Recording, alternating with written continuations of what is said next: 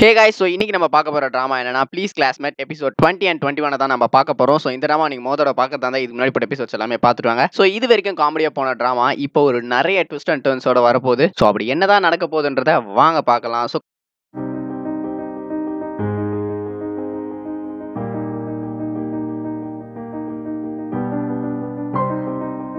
கடைசி எபிசோட்ல பாத்தீங்கன்னா நம்ம ஹீரோ கூப்பிட கூப்பிட ஹீரோனி வந்து எதுவுமே கண்டுக்காம அவங்க பாட்டு போயிட்டே இருந்திருப்பாங்க. ஸோ நேரா நம்ம ஹீரோனி வந்து அவங்க வீட்டுக்கு போறாங்க. அம்மா நாங்க வந்துட்டோம் அப்படின்னு சொல்லிட்டு நமக்கு அப்போ ஒரு பிளாஷ்பேக் மாதிரி ஒன்று காட்டுறாங்க. நம்ம ஹீரோனி பாத்தீங்கன்னா அவங்க அப்பா கூட வந்து விளையாடிட்டு இருக்கிற மாதிரி காட்டுறாங்க. அப்போ அவங்க அப்பா கிட்ட வந்து அவங்க பேசுறாங்க. அப்போ அவங்க அப்பா வந்து நம்ம ஹீரோனி கிட்ட வந்து நீ தான் வந்து இதுக்கப்புறம் அம்மாவையும் தம்பியும் நீ தான் பாத்துக்கணும். நீ தான் அவங்கள வந்து நல்லாவே இருக்கணும் அப்படின்வாங்க ஏன்பா நீங்க இருக்க மாட்டீங்களா கூட? நீங்க தான்ப்பா என்னோட பெரியவர் அப்படின்னு போது இல்லம்மா நான் எவ்வளோ நாள் இருப்பேன் தெரியாது. எனக்கும் வயசாகுது இல்லையா? அப்படின்னு போது அப்பா எனக்கு வயசாகாம நான் இந்த வயசுல இருக்கேன். நீங்களும் வயசாகாம இருங்க அப்படின்னு சொல்லிட்டு அவங்க அப்பா கிட்ட நம்ம ஹீரோனி வந்து சின்ன வயசுல கியூட்டா பேசியிருப்பாங்க. இல்ல அப்பா வந்து கொஞ்சம் உடம்பு சரியில்லாம இருக்கு. நம்ம அப்பா வந்து எப்போ வேணா போயிடுவேன். ஸோ அதனால நீ தான் அம்மாவையும் தம்பியும் பாத்துக்கணும்னு சொல்லிட்டு ஒரு ஃபிளாஷ்பேக் மாதிரி நம்ம காட்டுறாங்க. ஸோ அவங்க அப்பா கூட இருந்த அந்த மெமரிஸ்லாம் ஞாபகம் வருது அவங்களுக்கு ஸோ இப்போ பாத்தீங்கன்னா அவங்க அப்பாவோட பர்த்டே ஸோ அதனால பாத்தீங்கன்னா நம்ம ஹீரோ இனி ஹீரோயினோட தம்பி அவங்க அம்மா எல்லாம் ஒன்னா சேர்ந்து அவங்க அப்பாவுக்கு பர்த்டே செலிப்ரேட் பண்றதுக்கு இவங்களே கேக் வெட்டி செலிப்ரேட் பண்றாங்க. ஸோ இந்த பக்கம் பாத்தீங்கன்னா நம்ம ஹீரோ வந்து நம்ம ஜி கிட்ட பேசிட்டு இருப்பாரு. அவங்க அப்பாவோட இன்னைக்கு பர்த்டேடா ஸோ அதனால தான் அவ வந்து எதுவுமே பேசாம போயிடுவா. ஏன்னா இந்த வருஷத்தோட ஒவ்வொரு நாளும் அவ வந்து அவங்க அம்மா கூட செலிப்ரேட் பண்ணணும்னு நினைக்கிறா. ஏன்னா அவங்க அம்மா இந்த டைம்ல தனியா இருப்பாங்களேன்னு சொல்லிட்டு அவ போவா அப்படின்ற மாதிரி நம்மளோட ஜி வந்து சொல்றாரு. ஹீரோ அதை கேட்டு கொஞ்சம் ஃபீல் பண்றாரு. ஐயோ இதனால தான் அவ வந்து நம்ம கூப்பிட கூட போயிட்டாலான்னு சொல்லிட்டு. இந்த பக்கம் ஹீரோனி காட்டுறாங்க. நம்ம ஹீரோனி இருக்கிற இடத்துல வந்து அவங்க ஹீரோனியோட தம்பி வந்து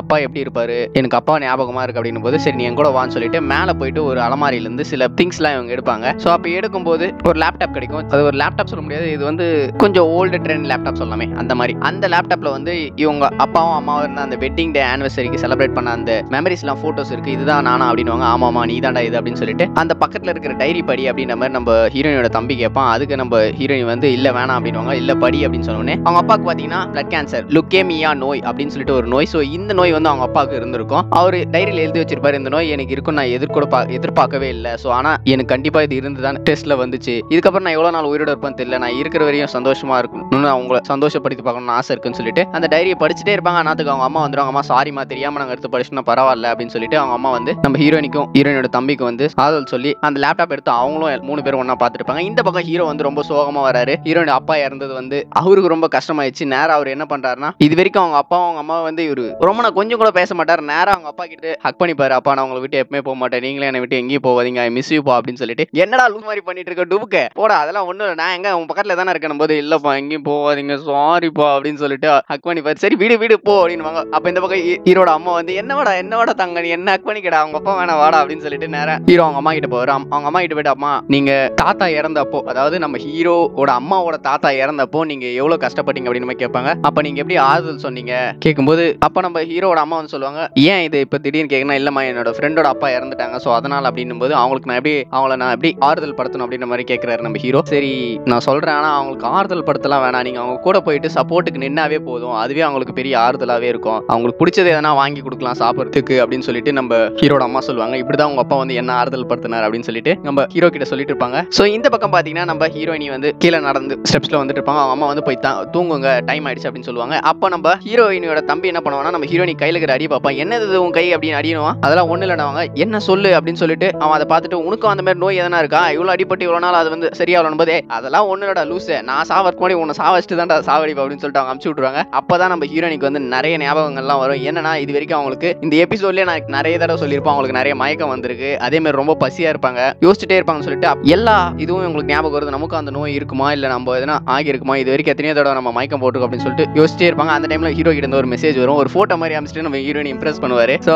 ரெண்டு பேரும் அன்னைக்கு நைட்டு மெசேஜ் பண்ணிட்டு இருப்பாங்க. ஸோ அப்படியே சீனை கட் பண்ணா அடுத்த நாள் ஹீரோனி பாத்தீங்கன்னா நம்ம ஸ்கூலோட கிளினிக்கு போயிட்டு அங்க போயிட்டு வந்து ஒரு நர்ஸ் கிட்ட கேட்பாங்க. அங்க இருக்க ஒரு டாக்டர் கிட்ட அந்த டாக்டர் மேடம் வந்து சொல்லுவாங்க என்னம்மா? அப்படின் போது ஒண்ணு இல்லை மேடம் என்னோட ஃப்ரெண்டோட ஃப்ரெண்டுக்கு வந்து பாத்தீங்கன்னா அவங்களுக்கு வந்து இந்த மாதிரி அடிப்பட்டா சீக்கிரமா ஆற மாட்டேங்குது அது இல்லாம அவங்களுக்கு வந்து அப்பப்போ மயக்க வருது பசி ஏன் இருக்க மாட்டேங்குது அப்படின்ற மாதிரி நம்ம ஹீரோயின் எல்லாமே சொல்லுவாங்க. இதெல்லாம் எதோட அறிகுறி அப்படின்னும் போது இது யாருக்கு உனக்கு அப்படின்னுவாங்க எனக்கெல்லாம் இல்லை என் ஃப்ரெண்டுக்கு அப்படின்ற மாதிரி சொல்லுவாங்க. உங்க ஃப்ரெண்டுக்கா சரி ஓகே நான் சொல்றேன் அப்படின்னு சொல்லிட்டு அவங்க வந்து இது வந்து பிளட் கேன்சருக்கான ஒரு அறிகுறி தான். அவங்களுக்கு தான் இந்த மாதிரி ஆகும்னு சொல்லிட்டு அவங்க சொல்லுவாங்க. இதெல்லாம் யோசிச்சுட்டு ஹீரோனி திரும்ப கிளாஸ்க்கு வருவாங்க. வந்த உடனே ரொம்ப மைண்ட் ப்ரெஷராக இருப்பாங்க. நம்ம அவ்வளோதான் நம்ம இறந்துருவோமா அப்படின்ற மாதிரி நமக்கு தோணிடும் அந்த டைம்லலாம் ஸோ அவங்க வந்து உட்காந்த உடனே நம்ம ஹேனியா வந்து சொல்றாமி கூட்டு மானிட்டர் மானிட்டர் நான் இன்னும் மேக்ஸ் பேப்பரையும் முடிக்கல. நீ கொஞ்சம் கூட நேற்று நீ முடிச்சுட்டு இருப்பல அப்படின்னு கூட போது ஹீரோயினி வந்து அதை எதுவுமே கண்டுக்கவே மாட்டாங்க. அமைதியாவே இருப்பாங்க. நம்ம ஹேனியை வந்து டக்குன்னு வந்து எடுப்பாங்க. அப்போ நம்ம ஹீரோனி பாத்தீங்கன்னா அவங்க கையில் இருக்கிற புக் அப்படி வச்சுட்டு எதுக்கு எடுக்கிற? நீ எப்போ பார்த்தாலும் என்கிட்ட வந்து வாங்கிட்டு போயிட்டே இருக்குதே வேலையா உனக்கு உனக்கு எல்லாம் அறிவு இல்லையா? போ அப்படின்னு சொல்லிட்டு பயங்கரமா இது வரைக்கும் ஹீரோனி இவ்வளவு கோவப்பட்டு நானே பார்த்ததுல பயங்கரமா கத்திடுவாங்க. கிளாஸ்ல இருக்கிற எல்லாருமே பார்ப்பாங்க. ஹேனியா அப்படியே அமைதியா ஸ்டன் ஆகி நிப்பாங்க.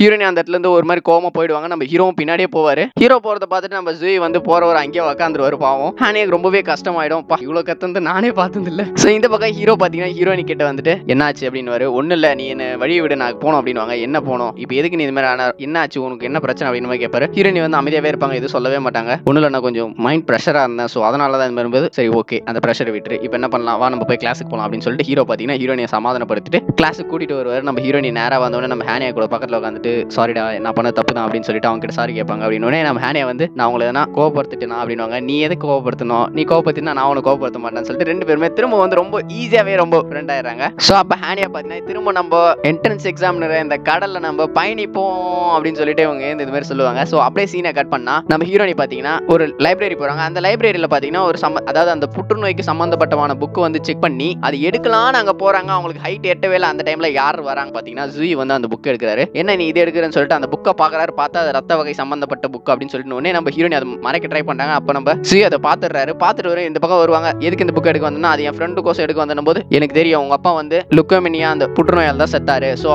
உனக்கும் கொஞ்ச நாளாக சாப்பிட்றது எல்லாமே குறைஞ்சி போச்சு உனக்கு நிறைய மயக்கமும் வருது அப்படின்னு சொல்லிட்டு இது ஒரு முறை ரெண்டு முறையில் நிறைய தடவை நடந்திருக்குன்னு சொல்லிட்டு கேட்பாரு ஏய் அதெல்லாம் இல்லை நான் என் ஃப்ரெண்டு கோசம் தான் எடுக்க வந்தேன் அப்படின்னு சொல்லிட்டு நம்மளோட ஜூயை சொல்லுவார். அப்போ அவர் கையில் அடிபட்டுறது நம்ம ஹீரோனி கையில் அடி அடிபடுறதெல்லாம் பார்ப்பாரு பார்த்தோன்னே நீ என்ன விடுறியா? அப்படின்னு சொல்லிட்டு ஹீரோயினி கத்துவாங்க அங்கவே. ஸோ லைப்ரரினால ரெண்டு பேரும் வெளியே வருவாங்க. வெளியே வந்து ஹீரோனி வந்து யார் உன் ஃப்ரெண்டு எந்த ஃப்ரெண்டுக்கு உனக்கு இந்த மாதிரி கேன்சர் பேஷண்ட் இருக்காங்க? அப்படின்னு சொல்லிட்டு கேட்டே இருப்பாரு. ஹீரோனி வந்து அமைதியாகவே இருப்பாங்க. சொல்லு லீக் இருக்குதா? இல்லை ஹேனியாக்கு இருக்குதா? உனக்கு இருக்கிற ஒரே ஒரு ஃப்ரெண்டு ஹேனியா மட்டும் தான் அப்படின்னு சொல்லிட்டு ஜூ கேட்டே இருப்பாரு. அதெல்லாம் இல்லை அப்படின்னு சொல்லிட்டு நம்ம ஹீரோயினி வந்து ஒத்துப்பாங்க. ஆமாம் எனக்கு தான் அந்த மாதிரி சில சிம்டம்ஸ் இருக்கு. ஆனால் அது உண்மை இல்லை. நான் இன்னும் டெஸ்ட் கொடுத்துட்டு வந்திருக்கேன் அப்படின்னு மாதிரி சொல்லுவாங்க. அப்போ நம்ம ஜூ வந்து போய் ஃபர்ஸ்ட் இதெல்லாம் ரகசியமாகவே வச்சுக்காத. இது என்ன சின்ன நோயா? சளி இல்லை இரும்பல் மாதிரி நோயா? சொல்லு பார்க்கலாம். இது கேன்சர் நீ வந்து வீட்டில் சொல்லி தான் ஆகணும் அப்படின்னு மாதிரி சொல்லுவார். இல்லை இல்லை சொல்ல வேண்டாம். போது நான் லீக்கிட்டே சொல்ல போகிறேன் லீக்கிட்டே எதுக்கு சொல்கிறேன் இது சொல்லாது. அவனுக்கு இப்போ கூடிய சீக்கிரத்தில் வந்து ரன்னிங் மேட்ச் இருக்குது ஸோ அவங்ககிட்ட இது சொல்லாமல் கொஞ்ச நாள் வந்து ரகசியமாக வச்சுக்கோ அப்படின்னுவாங்க. ஸோ நம்ம ஜியும் நம்ம ஹீரோனி ஒரு ஒப்பந்தம் மாதிரி போட்டுக்கிட்டு இந்த மாதிரி இந்த மந்த் எண்டுக்குள்ளே நீ யார்கிட்ட இது சொல்லாமல் பார்த்துக்கோ. நான் கண்டிப்பாக அடுத்த மாதத்துலேருந்து ஒரு ஹாஸ்பிட்டலில் ரெக்கவர் ஆகிறதுக்கோசம் நான் வரேன். ப்ளீஸ் உனக்கு கெஞ்சி கேட்குற நம்ம ஹீரோனி கேட்பாங்க. சரி ஓகேன்னு சொல்லிட்டு நம்ம ஜியும் ஒத்துப்பாரு. ஸோ இவங்க ரெண்டு பேர் பேசுறத தூரத்துல இருந்து சம்பனி பார்த்துருவான். சம்பனி வந்து பார்த்துட்டு என்னடா நடக்குது இங்க? அப்படின்ற மாதிரி அவன் பார்த்துட்டு இருப்பான். ஸோ இந்த பக்கம் ஹீரோ தனியா இருப்பார். நம்ம ஹீரோனியும் ஜியும் ஒன்னா வருது பார்த்துட்டு எங்கடா போன? அப்படின்னு போது நான் மாதிரி லைப்ரரி போயிருந்தேன். நானும் ஜியும் அவங்க கிட்ட சில டவுட்ஸ்லாம் இருக்கணும் சரி வா போலாம். அப்படின்னு சொல்லிட்டு ஹீரோ வந்து நம்ம ஹீரோனி கூட்டிட்டு போறாரு. ஸோ அப்போ ஹீரோ வந்து நம்ம ஹீரோனி கூட போகும்போது நான் வந்து நாளைக்கு ஒன்று பிக்கப் பண்ணிக்கிறேன் இல்ல வேணாம் நீ என்ன பிக்கப் பண்ணிக்க வேணாம். அப்படின்னு நம்ம ஹீரோனி சொல்லுவாங்க. ஏன்? அப்படின்னு போது உனக்கு தான் இன்னும் ரன்னிங் மேட்ச்ல வரும்போது நீ அதில் கான்சென்ட்ரேட் பண்ணும்போது நான் உன்னை பிக்கப் பண்ணிக்கிறேன். அவ்வளவுதான். அப்படின்னு சொல்லிட்டு நம்ம ஹீரோ வந்து ஹீரோனி கிட்ட சொல்றாரு. நீ என் கூட வர விருப்பம் இல்லைனா சொல்லும் போது ஒன்றும் இல்லை அப்படின்னு நம்ம ஹீரோயின் ஓகேன்னு சொல்லிடுறாங்க. இந்த பக்கம் சம்புனிக்கு ஐயோ தலைக்கிட்ட சொல்லாமா வானவா தலைக்கிட்ட சொல்லாமா வானவா தலைக்கிட்ட சொல்லாமா வேணாவான்ற நம்ம யோசிச்சுட்டு இருப்பாரு. சொல்லாதரா சொல்லாதரான்னு சொல்லிட்டு சரி ஓகே இதுக்கப்புறம் நம்மளால நடக்க முடியாதுன்னு சொல்லிட்டு நம்ம சம்புனி வந்து டக்குன்னு ஃபோன் பண்ணுவார். ஹீரோ எடுக்க மாட்டார் டக்குன்னு எடுத்துருவாரு. ஸோ அப்போ ஹீரோ கிட்ட சொல்லுவாரு தலை இந்த மாதிரி நான் வந்து அவங்க லைப்ரரி கீழே பார்த்தா ஒன்னா இருந்தாங்க அப்படின்னும் போது டேய் அவன் என்கிட்ட சொல்லிட்டாடா இந்த மாதிரி அவங்ககிட்ட டவுட் கேட்க போறேன்னு சொல்லிட்டு போது இல்ல தலை இருந்தாலும் நீ அவளை ரொம்பவே நம்புற கொஞ்சம் சூதானமா இருந்துக்கோ அப்படின்ற மாதிரி ஒரு மாதிரி சொல்லிடுறாரு. நம்ம ஹீரோக்கும் சந்தேகம் வரனால ஒரு மாதிரி இருக்கு. ஸோ அவர் என்ன பண்றாருன்னா அடுத்த நாள் காலையில் வந்து நம்ம ஹீரோனி பிக்கப் பண்றதுக்கோசம் போறதுக்கு போது அவளுக்கோசம் ஸ்வீட்லாம் கொஞ்சம் அவளுக்கு பிடிச்ச மாதிரியான ஸ்வீட்ஸ்லாம் வாங்கிட்டு அவ வீட்டுக்கு போறாரு. இந்த பக்கம் ஹீரோனி வெளியே வந்தா நம்ம ஜூய் அந்த இடத்துல இருக்காரு. சரி நீ எதுக்கு இங்க வந்தனும் போது நான் கூட தான் வந்தேன். இந்தா நம்ம தனியா எதுக்கு நீ போற அப்படின்னு சொல்லிட்டு அவளுக்கு வந்து கொஞ்சம் ஃபுட்டும் வாங்கி தருட்டு இந்த பக்கம் வராரு. நம்ம ஹீரோ வந்து அவன் ரெண்டு பேர் நடந்து போறது தூரத்துல இருந்து பாக்குறாரு. அவருக்கு ரொம்ப கஷ்டமாயிருது. ஸோ அப்படியே சீனை கட் பண்ணா இந்த பக்கம் ஜூயும் நம்ம ஹீரோனியும் ஒன்னா கிளாஸுக்கு வராங்க. நம்ம சம்பனி அதுவும் பாக்குறான். ஹீரோ வந்து அவளுக்கோசம் ஃபுட் எல்லாம் வாங்கிட்டு வந்திருப்பாரு. நேரம் நம்ம ஹீரோனி கொடுக்காம நேரம் நம்ம சுப்புனி வருவான். சுப்புனி வந்து தலை எங்களுக்கு அப்படின்னு ஆமா ஆமா எடுத்துக்கடா அப்படின்னு சொல்லிட்டு அவங்க கிட்ட கொடுத்துருவாரு சம்பனி நம்ம சுப்புனி எல்லாம் பார்த்துட்டே இருப்பாங்க. நம்ம ஹீரோ ஒரு மாதிரியே இருக்கான்னு சொல்லிட்டு நம்ம ஹீரோ தனியா ரெஸ்ட் ரூம் வந்துப்பாரு அப்போ நம்ம சம்பனி வந்துட்டு தலை நான் உங்ககிட்ட சொல்லக்கூடாது தான் இருந்தாலும் சொல்றேன். சரி நீ உன்னை முட்டாளாக்கலாம் நினைக்கல. நான் உண்மையாவே பார்த்தேன். அதனால தான் சொன்னேன். போது சரி விடுறா நான் அவளை நம்புறேன் அப்படின்னுவாங்க. சரி தலை நீ நம்புறதா நான் எதுவுமே நான் சொல்லல.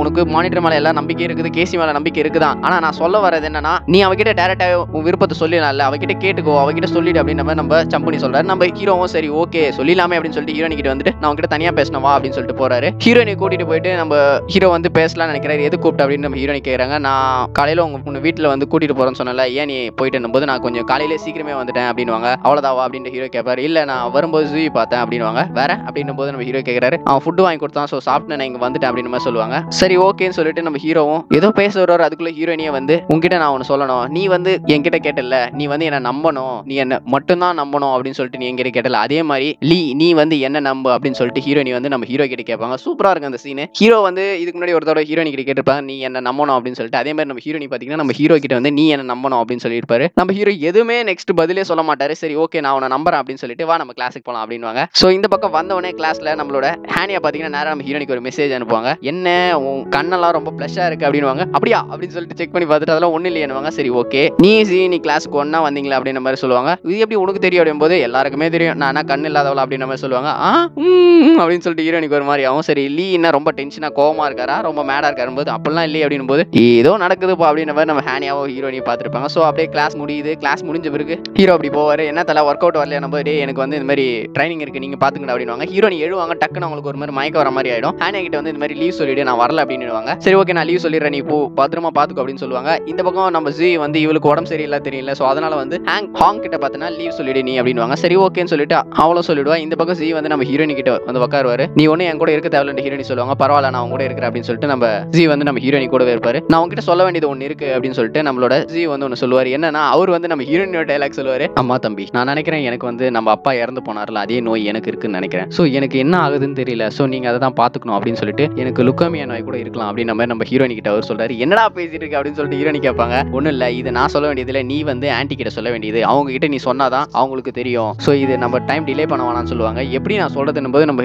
ஜி வந்து அவங்க அம்மாவோட போட்டோ இப்படி வச்சுட்டு இதை வந்து உங்க அம்மாவை நினைச்சிட்டு என்கிட்ட சொல்லு. அதே மாதிரி உங்க அம்மா கிட்டயும் சொல்லி ட்ரைன் பண்ணிக்கோ. அதாவது பயிற்சி எடுத்துக்கோ அப்படின்ற மாதிரி சொல்றாரு. ஹீரோயினுக்கு வந்து டக்குன்னு அவங்க அம்மா முன்னாடி இருக்கிற மாதிரி அவங்க நினைச்சு பாருங்க அவங்களோட எல்லா மெமரிஸ் ஞாபகம் வருது. ஃபர்ஸ்ட் எபிசோட்ல இருந்து அவங்க அம்மா கூட இருந்தது அவங்க அம்மா அவங்கள வளர்த்தது எல்லாமே ஞாபகம் வருது. ஸோ அவங்க தம்பி கூட என்ஜாய் பண்ணது எல்லாமே. ஸோ அவங்களுக்கு அப்படியே டக்குன்னு பார்த்தீங்கன்னா கண் கலங்கிருது. என்னால் சொல்லவே முடியாது என்னால் முடியாது அப்படின்ற மாதிரி சொல்லிடுறாங்க. நான் இறந்து கூட போறானா என்னால் இது சொல்ல முடியாதுன்ற மாதிரி ஃபீல் பண்றாங்க. ஸோ அவங்களுக்கு ரொம்ப அழுகையே வந்தது. நம்ம ஜியால இது பண்ண முடியல. ஸோ அவர் வந்து அழாத அழாதன்னு சொல்லிட்டு அவளை ஆறுதல் படுத்திட்டு இந்த பக்கம் நமக்கு கிரவுண்ட்ல காட்டுறாங்க. கிரவுண்ட்ல வந்து எங்க மானிட்டர் ஆளை காணோம் கேசி ஆளை காணும் போது அவங்களுக்கு உடம்பு சரியில்லைன்னும் போது எங்க இவனையும் ஆளை காணோம் ஜி ஆளை அவனுக்கு உடம்பு சரியில்லைன்ட்டு ஹாங் சொல்லுவா. என்னடா ரெண்டு பேருக்கு ஒரே டைம்ல உடம்பு சரியில்லைன்னு சொல்லிட்டு முசு முசுன்னு முழுசு இருப்பானுங்க நம்மளுக்கு. சுப்புனியும் நம்மளோட ஹீரோட ஃப்ரெண்டும் அப்ப நம்ம சம்புனி வந்து கொண்டாரு அமைதியா இருங்களா அது மாதிரி தப்பா பேசிட்டு இருக்காதீங்க அப்படின்னு சொல்லிட்டு பேசிட்டு இருப்பானுங்க. இந்த பக்கம் ஹீரோனி அழுதுட்டு இருப்பாங்க அவங்களுக்கு ஆறுதல் சொல்லிட்டு இருப்பாரு நம்மளோட. ஜி சரி அழாதன்னு சொல்லிட்டு அவ கண்ணெல்லாம் தொடச்சு விட்டுருப்பாரு. அப்ப நம்ம ஹீரோட ஃப்ரெண்ட் வந்துட்டு என்ன பண்ணிட்டு இருக்க? மானிட்டர் நீங்க அழுவுறீங்க? எதுக்கு அழுவுற கேசி? அப்படின்னு சொல்லிட்டு எல்லாம் கேட்டுட்டு இருப்பாங்க. டே நீங்க எதுவும் தப்பா புரிஞ்சுக்காதீங்க. அதை நான் வேற உனக்கு அழுதான் அப்படின்னு சொல்லுவாரு. நான் ஒன்னும் குருடன் இல்ல. நீங்க அழுதுட்டு போது அவன் கண்ணு தொடச்சு விட்டான். அதுக்கு அவன் தானே காரணம். எதுக்குடா அழுது அப்படின்னு சொல்லிட்டு நம்ம ஜி கிட்ட வந்து சண்டைக்கு போறாங்க. டேய் என் மேல எந்த தப்பு இல்ல. நீங்க கொஞ்ச நேரம் அமைதியா இருக்கும்போது என்ன தப்பு இல்ல? நீ என்ன இது மாதிரி பண்ணிட்டு இருக்க? இதெல்லாமே தலைக்கு தெரிஞ்ச என்ன வந்து தெரியுமா? நீ என்ன இப்படி பண்ணிட்டு இருக்க? போங்கடா அப்படின்னு சொல்லிட்டு நம்ம ஜி மேல வந்து தப்பான இது பண்ணிட்டு அவங்க பாட்டு அந்த இடத்துல இருந்து போயிடுறாங்க. இந்த பக்கம் நம்ம ஹீரோ கிட்ட வந்து தலை நான் பார்த்தேன் தலை அதாவது அவன் கண்ணு தொடச்சு சுத்தம் நான் பார்த்தேன். வேணும்னே இந்த மாதிரி பண்றான் அப்படின்னு நம்ம சொல்லுவாங்க. டேய் நீ கொஞ்ச நேரம் அமைதியா அவளை அவாய்ட் பண்ணிட்டு போக முடியும். இல்ல தல நான் கூட பார்த்தேன் அப்படின்னு சொல்லிட்டு சம்புனியை வந்து உங்க மேல ஹீரோனிக்கு இன்ட்ரெஸ்ட் இல்லவே என்னவோ நான் சொல்றது கேளுங்க. நீங்க வேணா கேட்டு பாருங்க அப்படின்னு சொல்லுவாங்க. டேய் கொஞ்ச நேரம் அமைதியா நான் அவகிட்ட கேட்டேன். அவ என்ன தெரியுமா என்கிட்ட சொன்னா? என்ன மாதிரி சொன்னா அப்படின்னு சொன்ன மாதிரி நம்ம ஹீரோ வந்து அவங்க கிட்ட எல்லார்கிட்ட சொல்லுவாரு. சோ அப்படியே சீனை கட் பண்ணா இந்த பக்கம் ஹீரோனி திரும்ப வீட்டுக்கு வந்துறாங்க. அவங்க அம்மா வந்து உட்காருமா நான் இன்னும் கொஞ்ச நேரத்தில் சாப்பாடு செஞ்சிடணுமா நான் உங்ககிட்ட பேசணும்னு சொல்லிட்டு அவங்க அம்மா உட்கார வைக்கிறாங்க. இந்த பக்கம் நம்ம ஹீரோயினோட தம்பியும் கூப்பிடுறாங்க. ஹீரோனி தம்பி நான் வரமாட்டேன் டேய் வாடா அவங்க அக்கா இதை பேசுறாங்க போது உட்கார வைக்கிறாங்க. அம்மா நான் உங்ககிட்ட சொல்றது கஷ்டமா தான் இருக்கும் அப்படின்னு சொல்லிட்டு அப்பாக்கு இருக்கணும் எனக்கும் இருக்குது போல. சோ நான் டவுட்ல தான் இருக்கேன். பட் ஆனா நான் இப்பதான் வந்து அதுக்கான டெஸ்ட்லாம் கொடுத்து வந்திருக்கேன். நீங்க கவலைப்படாதீங்க எனக்கு ஒன்றும் இருக்காது அப்படின்ற மாதிரி சொல்லுவாங்க. அவங்க அம்மாவுக்கு ஒரு மாதிரி இருக்கும். ஸோ உனக்கு எதனா அடிபட்டிருக்குமே இதெல்லாம் காட்டு அப்படின்னுவாங்க. அவங்க கையில அந்த அடிப்பட்ட தழும்புலாம் அதாவது அந்த எல்லா சிம்டம்ஸும் அப்படியே இருக்கும். அவங்க அம்மாவுக்கு அப்படியே ஒரு மாதிரி ஆகிடும் அவங்க அப்பாவுக்கு வந்த மாதிரியே இருக்கு இவளுக்கும் அப்படின்னு சொல்லிட்டு. ஸோ டக்குன்னு வந்து தான் பொண்ணுக்கு இந்த மாதிரி ஆகுதுன்னா எந்த ஒரு அம்மாவும் கண் கலங்குவாங்க. இவங்க ஆனால் கண்ட்ரோல் பண்ணிட்டு இருப்பாங்க. ஏன்னா கண் கலங்கிட்டா இறந்துருவாளோ அவங்களுக்கே வந்து ஒரு கான்ஃபிடன்ஸ் எல்லாம் போயிடுமென்ட்டு அப்படியே கண்ட்ரோல் பண்ணிட்டு அமைதியாக இருப்பாங்க. சரி ஓகே நீ எந்த டாக்டர் பார்த்தியோ அதெல்லாம் விட்டுரு. நான் ஒரு டாக்டர் பார்க்குறேன்னு சொல்லிட்டு ஹீரோனோட அம்மா வந்து இப்படி போவாங்க. அம்மா அப்படின்னும் போது நீ போய் தூங்குமா நான் பார்த்துக்கிறேன் அப்படின்னு சொல்லிட்டு அவங்க போயிடுவாங்க. இந்த பக்கம் ஹீரோயினோட தம்பிக்கு வந்து டக்குன்னு எங்கடா நம்ம அக்கா நம்மளை விட்டு போயிடுவாளோ? அப்படின்னு சொல்லிட்டு அக்கா அக்கா அக்கா இருக்கா? கேசி அக்கா அக்கா இருக்கா? அப்படின்னு சொல்லிட்டு நீ ரொம்ப கஷ்டப்படாதக்கா நான் இனிமேல் உன்னை எதுவும் கோவப்படுத்துற மாதிரி நடந்துக்க மாட்டேன். நான் எல்லா குப்பையும் நானே கட்டுறேன். நான் உன்னோட எல்லா ஷெல்ஃபையும் நானே க்ளீன் பண்றேன். அதே மாதிரி நானே வந்து எல்லா டிஷ் வாஷிங் க்ளீன் பண்றேன். வீடும் நானே க்ளீன் பண்ணிக்கிறேன் அப்படின்ற மாதிரி அவன் சொல்லுவான். டேய் கொஞ்ச நேரம் சும்மா நான் ஒன்னும் செத்து கித்து போல. சும்மா இரு, இப்பதான் வந்து டெஸ்ட்டே கொடுத்துட்டு வந்துடுறேன் அதுக்குள்ள இப்படி அவசரப்படுத்தாது அப்படின்னுவாங்க. அக்கா அக்கா நான் இனிமேல் ஒழுங்கா படிக்கிறேன். நீ கவலைப்படாத. நான் இனிமேல் ஸ்கூல் லீவ் போட்டு கூட உங்க கூடவே இருக்கிறேன். போது குத்திடுவேன் நான் என்னைய காரணம் வச்சு நீ ஸ்கூலுக்கு லீவ் போற கொண்டே போடுவோம் அப்படின்னு சொல்லுவாங்க. இந்த பக்கம் ஹீரோ பாத்தீங்கன்னா தனியா நின்னுட்டு இருப்பாரு. நம்ம ஜி வரதுக்கோசம் ஜி வந்து வீட்டுக்கு வருவாரு. அப்போ வந்து நம்ம ஹீரோ வந்து நம்ம ஜி கிட்ட கேட்பாரு அவளுக்கு என்னதான் பிரச்சனை? அவளுக்கு என்ன ப்ராப்ளம் அப்படின்னு மாதிரி கேட்பாங்க நீ அவகிட்டே போய் கேளு என் மேல எந்த தப்பும் இல்லை அப்படின்னு மாதிரி சொல்லுவாங்க அது இல்லடா நான் சொல்றதுன்னா நீ அவகிட்ட போய் கேட்டுக்கோ என்ன சீக்கிரட் இருந்தாலும் அவகிட்ட கேளு எனக்கு எதுவும் தெரியாது அப்படின்னு சொல்லிட்டு நம்ம ஜி வந்து அந்த இடத்துல இருந்து போயிடுவார் ஹீரோக்கு ஒரு மாதிரி யோசனையாவே இருக்கும் அவர் செம்ம கோவமா திரும்ப வீட்டுக்கு வருவாரு இந்த பக்கம் ஹீரோட அப்பா பாத்தீங்கன்னா பாக்ஸிங் பண்ணிட்டு இருப்பாரு ஹீரோட அம்மா பாத்தீங்கன்னா டான்சிங் பண்ணிட்டு இருப்பாங்க சோ இவங்க வீடு தாங்க இருக்கிறதுலயே ரொம்ப என்ஜாய்மெண்டான வீடு அப்படின்னு சொல்லிட்டு அவங்க அம்மா சூப்பரா டான்ஸ் ஆடிருப்பாங்க ஹீரோ நேரம் வந்து அவங்க அப்பா கிட்டப்பா எனக்கு சண்டை போறது கத்து கொடுப்பா நான் இந்த மாதிரி பஞ்ச் பண்ண பண்ணும்போது ஆ என்ன அடிடா நான் பாத்துக்கிறேன் அப்படின்னு சொல்லிட்டு அவங்க அப்பா கூட சண்டை போட்டுட்டு இருப்பாரு இவங்க அம்மா அழகா டான்ஸ் ஆடிட்டு இருப்பாங்க. செமையா இருக்கு அது பாக்கிறதுக்கு ஸோ அப்படியே சீனை கட் பண்ண இந்த பக்கம் பாத்தீங்கன்னா ஹீரோ ரொம்ப ஃபீல் பண்ணி படுத்துட்டு இருப்பாரு. எங்கடா நம்ம ஹீரோயினி மிஸ் பண்ணிட்டு போறோம்னு சொல்லிட்டு அவளுக்கு மெசேஜ் அனுப்புவாரு. அவ்வளவு ஒழுங்கா ரெஸ்பான்ஸ் பண்ணவே மாட்டா. ரொம்ப கஷ்டமாயிடும். நான் நான் அந்த மேட்ச்சுக்கு வர மாட்டேன். என்னால வர முடியுமான்னு தெரியல அப்படின்ற மாதிரி நம்ம ஹீரோயினி வந்து நம்ம ஹீரோக்கு மெசேஜ் பண்ணிடுவாங்க. நம்ம ஹீரோ செம்ம கடுப்பாயிடுவாரு இன்னும். ஸோ ஹீரோ என்னோட வீடு அடுத்த நாள் மார்னிங் காட்டாங்க ஹீரோனி வெளியே வந்து அவங்க அம்மா டிஷ் நிறைய சாப்பாடு விதவிதமா செஞ்சு வச்சிருப்பாங்க. என்னம்மா இவ்வளோ சாப்பாடு செஞ்சு வச்சிருக்கேன்னு கேட்பாங்க. ஆ சாப்பிடுங்க சாப்பிடுங்க. நல்லா சாப்பிட்டா தான் நல்லா ஹெல்த்தியா இருக்க முடியுன்ற மாதிரி அவங்க அம்மா சொல்லுவாங்க. ஸோ பொண்ணு எங்க நம்மள குடி சீத்துல விட்டு போயிடுவாளோன்னு சொல்லிட்டு அவங்க அம்மாவுக்கு ஒரு ஃபீலிங்ஸ் இருக்கும். ஸோ இதெல்லாம் வந்து விஷுவலாகவே நமக்கு சூப்பராக காட்சிருப்பாங்க. காய்ச்சிருப்பாங்க நீ இதை சாப்பிடு இது நல்லா உனக்கு டேஸ்டா இருக்கும். இது வந்து உனக்கு இன்னும் இம்யூனிட்டி பவர் கொடுக்கும்னு சொல்லிட்டு அவங்க அம்மா கொடுப்பாங்க. இந்த பக்கம் ஹீரோ பாத்தீங்கன்னா கொஞ்சம் நல்லா இருக்கு. இந்த மேட்சுக்கு அவருக்கு ரொம்ப ஹெவியா ப்ராக்டிஸ் பண்ணிட்டு இருக்காரு. இந்த பக்கம் ஹீரோ நினைச்சு இவனுங்க எல்லாமே புலம்பிட்டு இருக்காங்க. ஏன் தலைக்கு எவ்வளோ நெருக்கடியான சுச்சுவேஷன் வரணும்? என்ன பண்றது அப்படின்னு சொல்லிட்டு இன்னும் என்ட்ரன்ஸ் எக்ஸாம் வர இருக்குது காலேஜுக்கு அப்படின்னு மாதிரி நினைச்சிருக்காங்க. அப்ப ஹீரோ வந்து வேறு டே டைமர் செட் பண்ணுறா அப்படின்னு சொல்லிட்டு கம்பெனி கிட்ட சொல்லிட்டு இந்த பக்கம் வேகமா ஓடுவார். ஓடும்போது அவர் வந்து எதை நினைக்கிறாருன்னு தெரியல. நம்ம ஹீரோனே நினைச்சு ஓடுறாருன்னு சொல்ல டக்குனு கீழே விழுறாரு. நம்ம ஹீரோட ஃப்ரெண்ட்ஸ் எல்லாம் வந்து பாக்குறாங்க. என்ன ஆச்சு பார்த்தீங்கன்னா அவர் காலில் செம்மையாக அடிபட்டிருக்கும். இந்த பக்கம் ஹாஸ்பிட்டலில் காட்டுறாங்க யாரா காட்டுவாங்க? ஹீரோன்னு பார்த்தீங்கன்னா நம்மள ஹீரோனோட அம்மாவை காட்டுறாங்க. அவங்க வந்து ஒரு ஸ்பெசிஃபிக்கான டாக்டர் அதாவது இந்த நோய்க்கு அவங்க நல்லா ட்ரீட்மெண்ட் பண்ணுவாங்கன்னு சொல்லிட்டு அந்த டாக்டர் வந்து இது பண்ணுறாங்க இல்லை அவங்க வந்து இப்போ இல்லை. ஸோ அவங்களுக்கு பதில் வேறவங்க தான் இருக்காங்க. அதே மாதிரி இவங்க ரிஜிஸ்ட்ரேஷன் கூட முடிஞ்சிச்சு. இதுக்கப்புறம் நீங்கள் அவங்களை ரிஜிஸ்டர் பண்ணால் ஒரு மாதத்துக்கு மேலே ஆகும். ஒரு மாதம் மேத்துக்கு ஆகும்னு சொல்லிட்டு சில எபிசோடுக்கு முன்னாடி நம்ம ஹீரோட அம்மா பார்த்தீங்கன்னா அவங்க ஃப்ரெண்டை மீட் பண்ணியிருப்பாங்க நம்ம ஹீரோனி கூட ஒழுங்காக பேசியிருக்க மாட்டாங்க. அவங்களுக்கு கால் பண்ணி இந்த மாதிரி வந்து எனக்கு அந்த டாக்டர் வேணும். அவங்க கிட்ட கொஞ்சம் கன்சல்ட் பண்ண முடியுமான போது யாருக்கு அப்படின்னும் போது நம்ம ஹீரோ ஹீரோனிக்குன்னு சொல்ல மாட்டாங்க. அவங்க ஃப்ரெண்டுக்கு அப்படின்ற மாதிரியே சொல்லுவாங்க. சரி நான் பாக்குறேன்னு சொல்லிட்டு அவங்க போனை கட் பண்ணிடுறாங்க. இந்த பக்கம் நம்ம ஹீரோ ஹாஸ்பிட்டல் இருந்து வெளியே வராரு என்ன எப்படி எப்படியே வந்துட்டு இருக்கே அப்படின்னு போது நம்ம ஹீரோ வந்து நம்ம சம்பனி கிட்ட கேட்டு நீ ஹேனியா கிட்ட இருந்து எதனா கேள்வி அவளுக்கு தெரியும் அப்படின்னுவாங்க. நம்ம சாம்பனி நம்ம ஹேனியா கிட்ட வந்துட்டு இந்த மாதிரி வந்து என்னோட ஹார்ட்ல பார்த்தீங்கன்னா மூணு பேர் இருக்காங்க. ஒன்னு எங்க அம்மா ஓகே இன்னொன்னு லீஹி. சரி அது எனக்கு தெரியும். ஸோ லீஹி கோசம் தான் நான் உங்ககிட்ட வந்தேன் அப்படின்னு சொல்லிட்டு மூணாவது ஆள் சொல்லவே மாட்டாரு. ஹேனியாவும் சரி சரி ஓகே இப்போ என்ன வேணும் போது ஏன் இந்த மாதிரி கேஸ் நடந்துக்கிட்டு அவளுக்கு என்னதான் ஆச்சுன்னு போது சத்தியமா எனக்கே தெரியல. கொஞ்ச நாளா ஒழுங்கா பேசுறது எதுவுமே வீடியோ கால் கூட அட்டன் பண்ணுறதில்ல நான் என்ன பண்ணுறதுனே தெரியல அப்படின்ற மாதிரி நம்ம ஹானியாவை சொல்கிறா சரி ஓகே நான் தலைகிட்ட என்ன சொல்றது இல்லைன்னு போது ஹானியா வந்து சரி நீ மூணு பேர் இருக்காங்கன்னு சொன்னல ரெண்டு பேர் சொல்லிட்டேன். மூணாவது ஆள் யாருன்னு போது ஆ அது உனக்கு தெரியாதா? அது உனக்கு தெரியாது. அவ்வளோதான் அப்படின்ற மாதிரி அவர் சொல்லி மழுப்பிடுவாரு இந்த பக்கம் நம்ம ஹீரோயினோட வீட்டை காட்டுறாங்க. அங்கே வந்து ஹீரோ என்னோட அம்மா வெளியே வருவாங்க. வந்தால் நம்ம ஹீரோயினோட தம்பி வந்து இதுவும் ஒரு கேர்லெஸ்ஸாக இருப்பான். ஆனால் இப்போ வந்து கரெக்டான டைமில் வந்து சாப்பாடு வாங்கிட்டு வர்றது எல்லாமே ஒழுங்கா பார்த்துக்கிறான் அவங்க அம்மாவுக்கே ஒரு மாதிரி ஆகுது அம்மா நீ கவலைப்படாதம்மா. வீட்டில் இருக்கு. நான் ஒரு நல்ல மனுஷன் இருக்கணுமா நீ ஒன்றுமே பயப்பட தே- தேவையில்ல. நம்ம அக்கா நம்ம கூட தான் இருப்பா. நீ எங்கேயும் போக முடியாது அப்படின்ற மாதிரி அவன் சொல்லிட்டு இப்படி பால் ஊத்திட்டு இருப்பான். இருந்தாலும் அவங்க அம்மா கஷ்டமாயிடும். எப்படி இருந்தாலும் அவ ஹீரோனி செத்துருவான்ற மாதிரி அவங்க அம்மாக்கு இருக்கும். சோ அந்த நோய் வந்தாவே கிட்டத்தட்ட டெத்து தான் அப்படின்ற மாதிரி. அவங்களுக்கு ரொம்பவே கஷ்டமா இருக்கும். இது எல்லாமே தூரம் வந்து நம்ம ஹீரோ இனியும் கேட்டுட்டு இருப்பாங்க. ஸோ இதோட இந்த எபிசோடு முடியுது. ஆக்சுவலாக இந்த எபிசோடு பார்த்தீங்கன்னா ரொம்ப ரொம்ப ஒரு எமோஷனலான எபிசோட் நான் எப்படி பேசுறதுன்னு தெரியாம தான் ஏன்னா என்னாலே சுத்தமாக முடியல. எனக்கு தான் உடம்பு சரியில்லைன்னு பார்த்தீங்கன்னா எபிசோட்ல ஒரு ஹீரோனிக்கும் உடம்பு சரியில்லாமல் போயிடுச்சு. வாட்ட வாட்ட வாட்ட கோ இன்சிடென்ட்ஸ்ல சரி ஓகே guys. அண்ட் கடைசி எபிசோட்ல ஒரு சைனீஸ் பேர் சொல்லியிருந்தேன். நிறைய பேர் லாஸ்ட் தேங்க்ஸுக்கு படம் தான் ஸ்ரீஷியா அப்படின்னு சொன்னா தேங்க்ஸ் அது எல்லாருக்குமே தெரியும். நடுவில் நடுவுல சொன்னதுக்கான அர்த்தம் என்னன்னா I love my dub series family so அதுக்கு தான் அது அர்த்தம். சரி இன்னைக்கு ஒரு வேர்டுன்ற மாதிரி இன்னைக்கு ஒரு சைனீஸ் வேர்ட் சொல்லுவோம். என்னன்றதை கண்டுபிடிங்க. ஹோஷு ஹானி ஸோ இதோட இந்த video guys so thanks for support thanks for love keep supporting dub series family சுஷியா bye bye